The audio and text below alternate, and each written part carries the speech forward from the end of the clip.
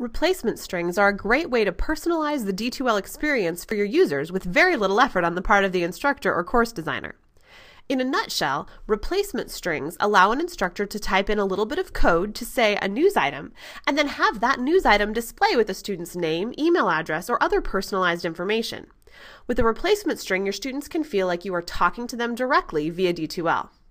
Since you will probably be using replacement strings most often in the news area, we will start there, though you can use replacement strings anywhere in D2L. To personalize a news item with a replacement string, I begin by adding a new news item.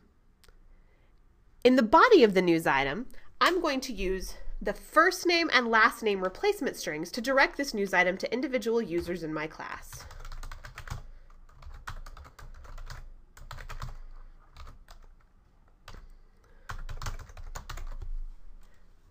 Add a replacement string, you can see I simply typed either first name or last name, all one word, no spaces, and surround it by these curvy brackets. Once this is completed, when you or your students view this news announcement, you're going to see your own first and last name instead of the replacement string code. You can also use a string in the news item headline if you wish.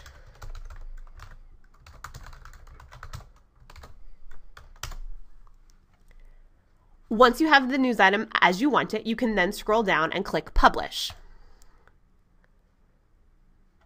And you can see that my news item has a first name here in the headline and a first and last name in the body.